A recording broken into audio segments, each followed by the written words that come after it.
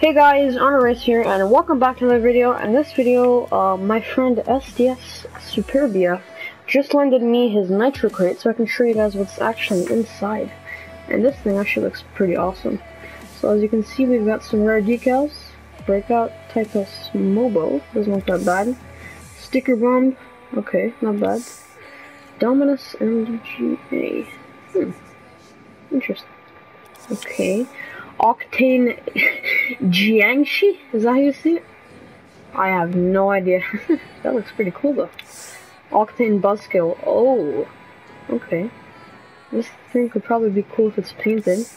Takumi Victor? Takumi Victor. Takumi Vector. I'm sorry. My um I can't I can't read today. We have Hex Phase. Ooh. Pretty interesting. That looks nice. Fireplug wheels.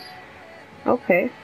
They're simple, but I've seen people get them painted, and like the whole thing is painted, so it actually looks pretty sick. Endo MG88. Whoa. It actually looks awesome.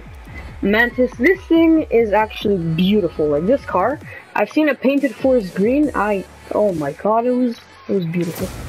We have Neo Thermal. Ooh, that's pretty cool boost. If it's painted, that'd be nice. Fire plug wheels. Fire plug. I, I cannot read. Triplex. Okay, those actually look pretty nice. Those painted?